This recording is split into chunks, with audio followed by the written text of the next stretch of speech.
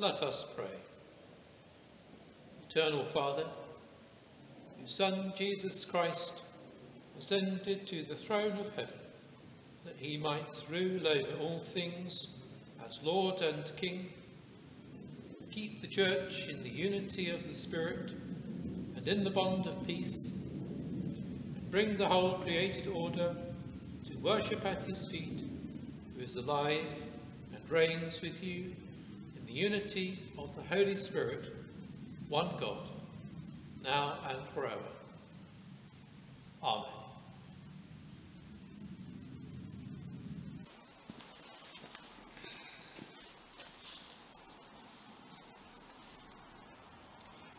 A reading from the book of the prophet Ezekiel. Thus says the Lord I myself will search for my sheep and will seek them out. As shepherds seek out their flocks when they are among their scattered sheep, so I will seek out my sheep. I will rescue them from all the places to which they have been scattered on a day of cloud and thick darkness. I will bring them out from the peoples and gather them from countries, and bring them into their own land. And I will feed them on the mountains of Israel, by the watercourses, and in all the inhabited parts of the land. I will feed them with good pasture, and the mountain heights of Israel shall be their pasture. There they shall lie down in good grazing land, and they shall feed on rich pasture on the mountains of Israel. I myself will be the shepherd of my sheep, and I will make them lie down, says the Lord God. I will seek the lost, and I will bring back the strayed, and I will bind up the injured, and I will strengthen the weak. But the fat and the strong I will destroy. I will feed them with justice.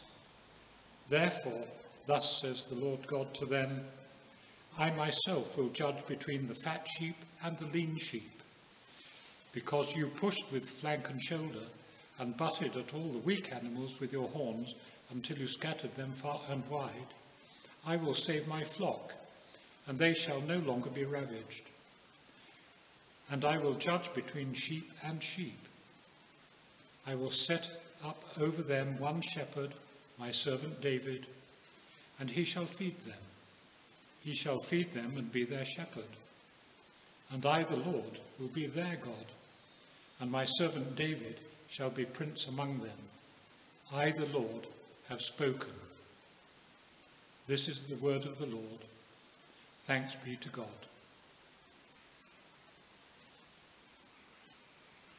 Psalm 95. The response is, the Lord is great God and a great King above all gods. Come, let us sing to the Lord. Let us shout for joy to the rock of our salvation.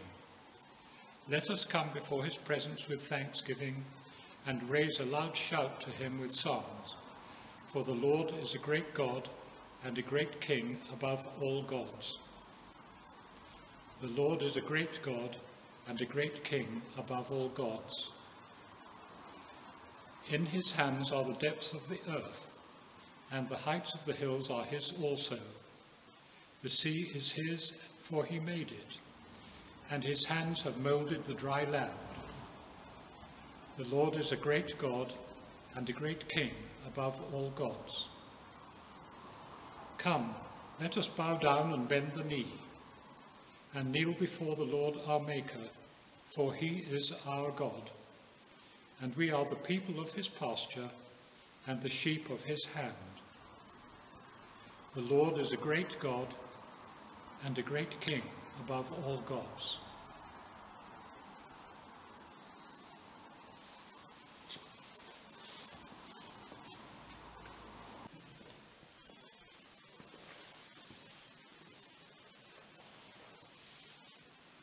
Reading from the letter of Paul to the Ephesians. I have heard of your faith in the Lord Jesus and your love towards all the saints. And for this reason, I do not cease to give thanks for you as I remember you in my prayers. I pray that the God of our Lord Jesus Christ, the Father of glory, may give you a spirit of wisdom and revelation as you come to know him, so that with the eyes of your heart enlightened, you may know what is the hope to which he has called you, what are the riches of his glorious inheritance among the saints, and what is the immeasurable greatness of his power for us who believe, according to the working of his great power. God put this power to work in Christ when he raised him from the dead and seated him at his right hand in the heavenly places, far above all rule and authority and power and dominion, and above every name that is named, not only in this age, but also in the age to come. And he has put all things under his feet, and has made him the head over all things for the church, which is his body, the fullness of him who fills all in all.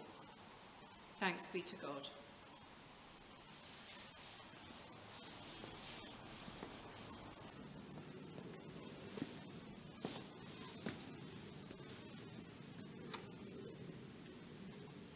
Hear the gospel of our Lord Jesus Christ according to Matthew, chapter 25. Jesus said to his disciples, When the Son of Man comes in glory, and all the angels with him, then he will sit on the throne of his glory. All the nations will be gathered before him, and he will separate people one from another as a shepherd separates the sheep from the goats. And he will put the sheep at his right hand and the goats at the left. Then the king will say to those at his right hand, Come, you that are blessed by my Father, inherit the kingdom prepared for you from the foundation of the world. For I was hungry, and you gave me food. I was thirsty, and you gave me something to drink. I was a stranger, and you welcomed me. I was naked, and you gave me clothing. I was sick, and you took care of me. I was in prison, and you visited me. Then the righteous will answer him, Lord, when was it that we saw you hungry and gave you food, or thirsty and gave you something to drink? And when was it that we saw you a stranger and welcomed you, or naked and gave you clothing? And when was it that we saw you sick or in prison and visited you? The king will answer them. Truly, I tell you,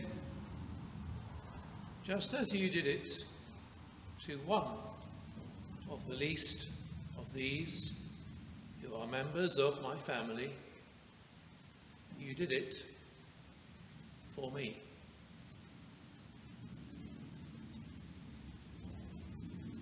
This is the gospel of the Lord. Praise to you, O Christ.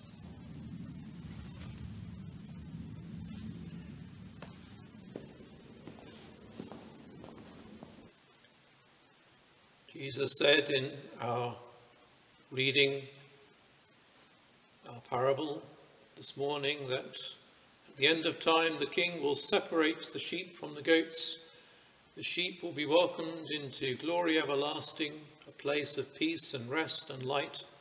Come to me, you who are sheep, you who have in your lifetimes been good hearted, kind to the stranger, compassionate when you gave so much as a cup of water for a little one who was in need, you actually did it for me.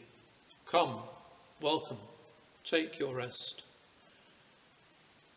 It's a nice passage, but it might leave us with a touch of anxiety. Am I good enough? Do I come up to the mark? Do I count as the sheep of his pasture and of his flock? We have gone through our lives in our, in our education, often being told, must do better. Not bad, but not good enough. But the wonderful thing is that our King who sits in judgment is not one who sits back and tuts and waits for us to fall and gives us black marks and punishes willy nilly. The King is also a shepherd with a heart of compassion, a shepherd who is proactive and will go out and seek us and find us and do everything within his power to bring us home. What does that mean, everything within his power?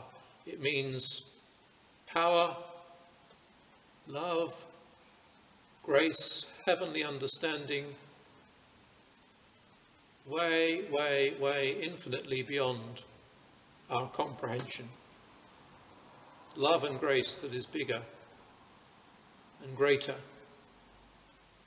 and more encompassing than we are able to imagine. The King, who is a proactive shepherd, who will seek us and find us. In the Old Testament reading this morning, a rather obscure reading from the prophet Ezekiel, chapter 34. There is a beautiful poetic passage describing this shepherd, very reminiscent of Psalm 23, The Lord is my shepherd. It's an obscure reading, but a beautiful one. When I came across it a few years ago, I marked it out as a reading suitable to be used on occasions in a funeral service, and I have done that now and again over the years, bringing someone home who perhaps in their life, as we all do to some degree, felt a little lost. Here are some of those beautiful lines from Ezekiel.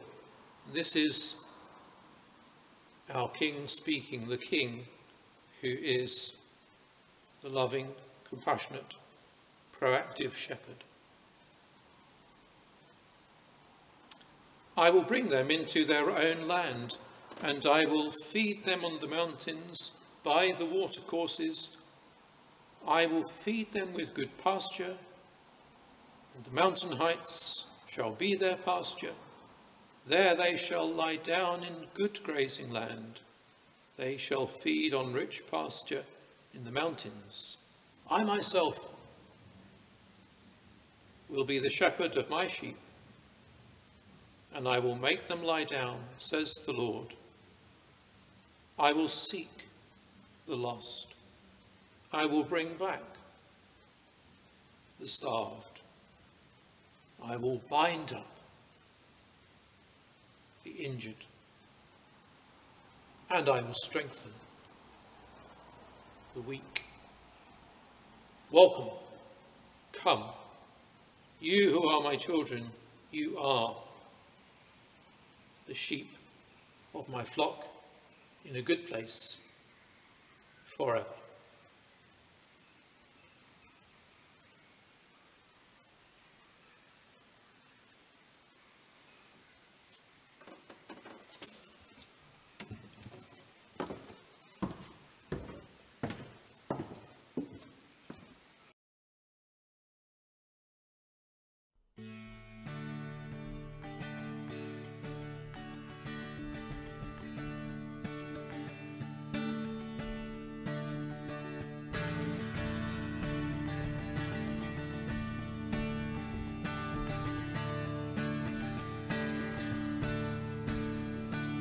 I will seek out my sheep from the mountains. I will rescue the lost from their darkness.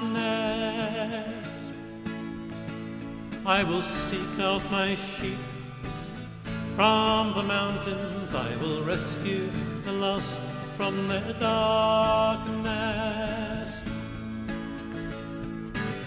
They will return where it is calm in a good place they will reside.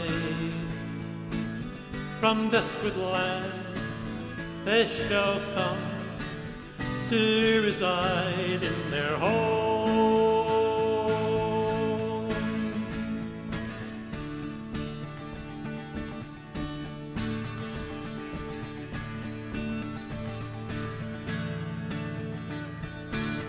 My shepherd arms well embrace, my strength will guide you along. My shattered arms will embrace, my strength will guide you along. They will return where it is gone. In a good place they will reside. From desperate lands they shall come to reside in their home.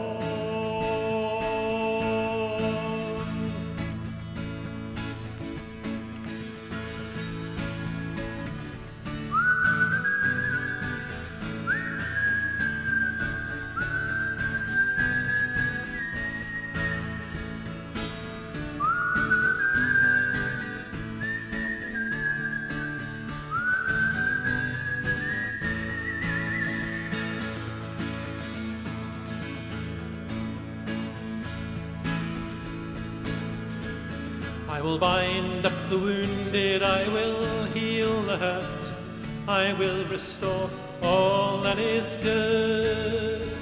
I will bind up the wounded, I will heal the hurt, I will restore all that is good.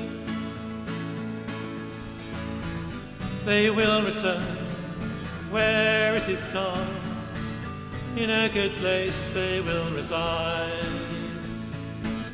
From desperate lands they shall come to reside in their home.